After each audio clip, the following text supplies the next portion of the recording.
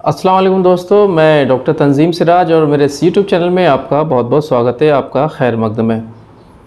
आज के इस वीडियो में हम बात करने वाले हैं सेंट्रल सीरस रेटिनोपैथी के बारे में। यानी कि आसान अल्फाज में बयान किया जाए तो स्ट्रेस, तनाव की वजह से यंग एज में आँख के पर्दे के अंदर सूजन का आ जाना। Central serous retinopathy. स्ट्रेस यानी कि तनाव। तनाव का बहुत ही बड़ा रोल है इस बीमारी को क्रिएट करने के लिए।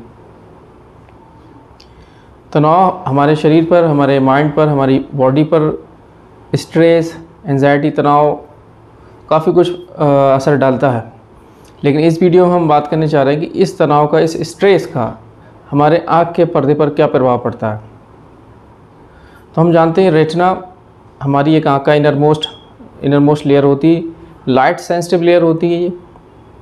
इसका काम ये होता है कि जैसे कि हम किसी चीज़ को देखते हैं तो ये लाइट जो है परसीव करती है और लाइट को लाइट जो होती है उसको लाइट के सिग्नल्स को ये न्यूरल सिग्नल्स में चेंज करता है और फिर ब्रेन तक जाती है ऑप्टी के थ्रू ब्रेन इसको रिकग्नाइज़ करता है, भाई, क्या ऑब्जेक्ट रखा हुआ है सामने? क्या ऑब्जेक्ट है उसको हम फिर उसको हम पढ़ पाते हैं कि हाँ ये ऑब्जेक्ट है। तो ये अपना एक रेटिना का फ़ंक्शन होता है। तो सेंट्रल सीरियस रेटिनोपैथी के अंदर होता क्या है कि ये स्ट्रेस जो लोग यंग एज में बहुत ज़्यादा लेते हैं। तो रेटना के बीनीत रेटना के नीचे स्वेलिंग हो जाती है, पानी इकट्ठा हो जाता है। और वो फिर उसमें स्वेलिंग आ जाती है और उसके वजह से रोशनी पे बहुत बड़ा, बहुत गलत प्रभाव पड़ता है। रोशनी मतलब जाने लगती है। और ये कभी कभी तो अक्सर सेंटर सीरियस रेटिनोपैथी के जो केसेस होते हैं, अपने आप ही ठीक होने लगते हैं। कुछ हफ्तों में खुद ब खुद ठीक हो जाते हैं। और अगर ये खुद ब खुद ठीक नहीं होते हैं तो एटलीस्ट जो पेशेंट है, उनको डॉक्टर की विज़िट करते रहना चाहिए और बीच बीच में चेकअप कराते रहना कराते रहना चाहिए कि ये अपने आप ही ठीक हो जाएगा या फिर इसमें कुछ मेडिसिन की ज़रूरत पड़ेगी।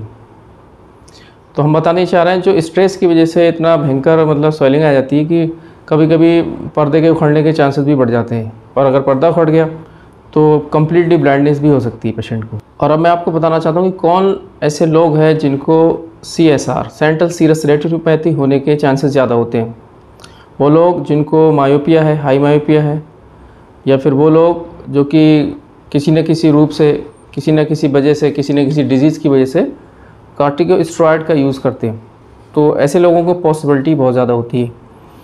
और अब हम बात कर लेते हैं इसके कॉजेज़ जो कॉज है, सबसे बड़ा फैक्टर जो सेंट्रल सीरस रेटिनोपैथी को कॉज करता है, उसके बारे में आपको कुछ डिटेल में बताना चाहता हूँ। हाँ तो अब तक की जो रिसर्च है, वो मतलब एग्जैक्टली कन्फर्मेशन तो नहीं है कि कि कौन सी ऐसी वजह है जिसकी वजह से सेंट्रल सीरस रेटिनोपैथी होती है, लेकिन बहुत सारे लोगों का, बहुत सारे रिसर्चर साइंटिस्ट डॉक्टर्स का यही मानना है कि ये जो है स्ट्रेस ट्रिगर फैक्टर है, तनाव स्ट्रेस ही सबसे बड़ा फैक्टर है इसमें। होता क्या है कि हमारी जो बॉडी है, हमारा शरीर है, जब स्ट्रेस में होता है, तनाव में होता है तो यहाँ पर क्या होता है? आपका कॉर्टिसोल कॉर्टिसोल का लेवल बढ़ जाता है कॉर्टिसोल रिलीज़ होता है हमारी बॉडी में और कॉर्टिसोल जब रिलीज़ होता है तो फिर बॉडी के अंदर स्वेलिंग इन्फ्लेमेशन होने लगती है। स्वेलिंग होगी इन्फ्लेमेशन होगी फ्लूड इकट्ठा होने लगता है एडीमा होने लगता है।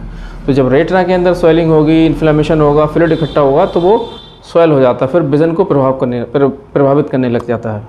तो ये तो हो गया स्ट्रेस की वजह से। और जो यंग एज में लोग होते हैं, स्ट्रेस बहुत ज़्यादा है। आजकल सभी लोगों की लाइफ में लगभग स्ट्रेस ही है।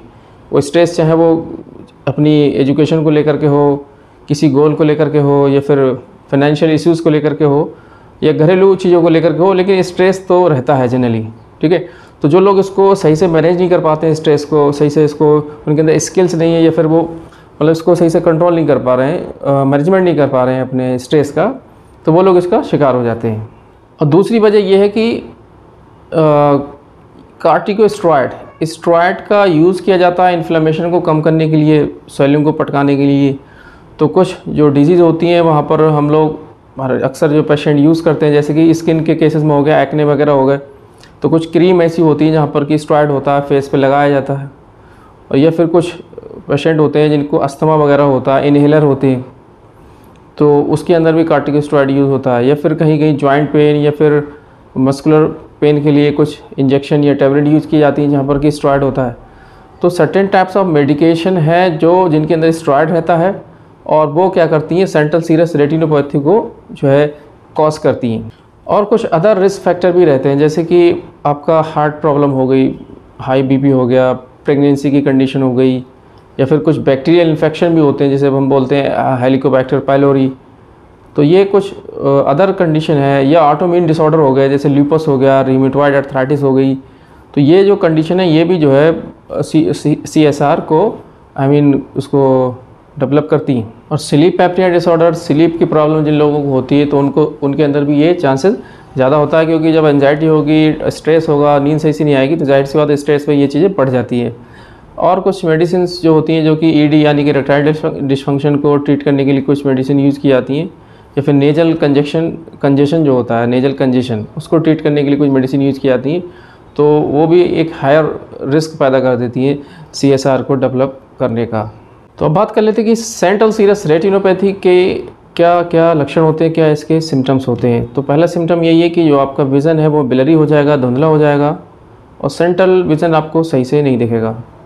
और आपको ये भी हो सकता है कि आपका जो सेंट्रल विज़न है, वहाँ पर कोई डार्क स्पॉट बीच में आ जाए। कोई ऑब्जेक्ट आप देख रहे हैं तो वहाँ पर एक डार्क स्पॉट डार्क स्पॉट आ जाए, वो आपको बीच का सही से नहीं दिखे। अगर किसी ऑब्जेक्ट का कलर वाइट है तो वो आपको वाइट ना देख करके ब्राउन दिख सकता है, या फिर वो कुछ उसका कलर आपको तब्दील दिख सकता है। या फिर कोई ऑब्जेक्ट है जो कि आपको जिस जिस डिस्टेंस पर रखा हुआ है, वहाँ ना देख करके थोड़ा दूरी पे दिखाई दे, या फिर उसकी हाइट ज़्यादा है, वो आपको छोटा दिखाई दे, इस तरीके का हो सकता है। और कुछ जो लाइंस हैं लाइंस वगैरह, सीधी अगर लाइन आप देख रहे हैं तो हो सकता है वो आपको बैंड दिखाई दे। तो अब बात करते हैं इसका क्या मैनेजमेंट है, क्या इसका ट्रीटमेंट है? तो जनरली ये शुरू मैंने आपको बताया कि अगर किसी को सेंट्रल सीरियस रेटिनोपैथी है तो बहुत ज़्यादा परेशान, घबराने की ज़रूरत नहीं है। अक्सर ये जनरली तो खुद ब खुद दो तीन हफ़्ते या चार छः हफ़्ते के अंदर खुद ब खुद जो है, सूजन जो है इन्फ्लेमेशन जो है, कम हो जाती है, पटक जाती है और पेशेंट को सही दिखने लग जाता है। और अगर इसके अगर आपको लगता है कि भाई नहीं हो रहा है तो डॉक्टर डॉक्टर को आप दिखाएँगे तो डॉक्टर आपका ओसीटी वगैरह करेंगे, देखेंगे उसके अंदर क्या इन्फ्लेमेशन वगैरह है, कितना फ्लूड इकट्ठा है। तो अगर उनको लगता है मेडिसिन की ज़रूरत होगी तो वो एलोपैथिक डॉक्टर आपको मेडिसिन देंगे। अब मैं आपको बताता चलूँ कि यहाँ पर कुछ मेडिसिन जो एलोपैथिक डॉक्टर यूज़ करते हैं, वो क्या होती हैं। तो पहले मेडिकेशन में यही है कि एलोपैथिक जो मोड ऑफ़ ट्रीटमेंट है, उसमें anti V E G F injection या फिर इंजेक्शन वगैरह दिए जाते हैं, जिससे कि जो न्यू ब्लड वेसल्स की ग्रोथ होती है उसको रोकने के लिए ये इनका यूज़ किया जाता है, ताकि नई ब्लड वेसल्स ना बने। और कभी कभी डायूरेटिक्स का भी इस्तेमाल किया जाता है फ्लूड को मतलब हटाने के लिए। अब इस वीडियो के इम्पोर्टेंट जो पहले उस पर बात बात कर लेते हैं कि अगर किसी पेशेंट को सेंट्रल सीरस रेटिनोपैथी है तो उसको क्या करना चाहिए? उसको खुद के लेवल पे क्या करना चाहिए? तो सबसे पहले जैसे मैंने आपको बताया कि स्ट्रेस इसका बहुत बड़ा कारण है कॉज है। अगर हम स्ट्रेस को किसी तरीके से हैंडल कर लेते हैं, चाहे हम मेडिटेशन करते हैं एक्सरसाइज करते हैं योगा करते हैं, नमाज़ पढ़ते हैं, या कुछ भी अपने आप को किसी अच्छी एक्टिविटी में इन्वॉल्व करते हैं, या फिर किसी साइकोलॉजिस्ट की अपनी, या फिर किसी काउंसलर की हेल्प लेते हैं मतलब किसी भी तरीके से अगर आप अपने स्ट्रेस को मैनेज कर ले जाते हैं तो ये काफ़ी हद तक इसको आप प्रिवेंट भी कर सकते हैं और आपको इसके जो सिम्टम्स हैं, उसको रिड्यूस करने में आपको सहायता मिल सकती है। और आप अपनी एक हेल्दी डाइट ले सकते हैं। दूसरी चीज़ ये है कि आपकी जो स्लीप है जैसे मैंने अपना स्लीप अपनी स्लीप तो स्लीप अगर आप सात आठ घंटे अच्छे से सोते हैं तो ये बीमारी काफ़ी हद तक आपकी कम हो जाएगी। और दूसरा जो कैफ़ीन होती है एल्कोहल हो गया और इस तरह की टोबाको वगैरह हो गई इसका सेवन आप बिल्कुल ना करें। ये वैसे भी ये चीज़ें जो है विज़न पे इफ़ेक्ट बहुत ज़्यादा डालती हैं। तो कुछ ये आ, मतलब यही है कि स्ट्रेस को आपको मैनेज करना अपनी डाइट को अपनी स्लीप को अपनी लाइफ को हेल्दी लाइफ स्टाइल चेंजेस आपको हेल्दी लाइफ स्टाइल मतलब अपनाना है, ताकि आपका जो सी एस आर है वो ठीक हो जाए। तो ये टेक्निक आप यूज़ कर सकते हैं, जिससे कि आप ख़ुद ब खुद इसमें कुछ बेहतरी ला सकते हैं। अदरवाइज़ ट्रीटमेंट की ज़रूरत पड़ेगी तो ट्रीटमेंट तो चाहे होम्योपैथिक का भी ले सकते हैं एलोपैथिक का भी आप ले सकते हैं। तो अब लास्ट में मैं बताना चाहता हूँ कि होम्योपैथिक स्कोप क्या है? अगर आपको सेंट्रल सीरस रेटिनोपैथी है, या फिर किसी दूसरे कारण से भी आपकी मैक्लोरेडीमा है रेटना के अंदर स्वेलिंग है डीएमई है सीएमई है, किसी दूसरे कॉज की वजह से या चोट लगने की वजह से भी है तो होम्योपैथी में भी ऑप्शन है। होम्योपैथी में काफ़ी सारी मेडिसिन है जो इस चीज़ को ट्रीट कर सकती हैं और आपको मैनेज करती हैं। इसके सिम्टम्स मतलब विज़न को इम्प्रूव भी करती हैं, ठीक है? तो अगर आपको इस तरह की कोई बीमारी है या आपके फैमिली मेंबर में किसी को बीमारी है तो आप आ, हमारे व्हाट्सएप नंबर पर अपनी रिपोर्ट को साझा करिए शेयर कीजिए और हमें शाम पाँच बजे से लेकर के रात्रि दस बजे तक आप हमें कॉल कर सकते हैं। हमारा जो कॉन्टैक्ट नंबर है वो है double eight six five nine double five nine zero seven और ये जो हमारी क्लिनिक है वो बरेली उत्तर प्रदेश यानी कि यूपी में है और इसकी लोकेशन जो हम डिस्क्रिप्शन में भी डाल देते हैं गूगल गूगल पर भी इसकी लोकेशन है। या फिर आपको कुछ भी इंक्वायरी करनी है तो आप हमें व्हाट्सएप पर पूछ सकते हैं। शुक्रिया थैंक यू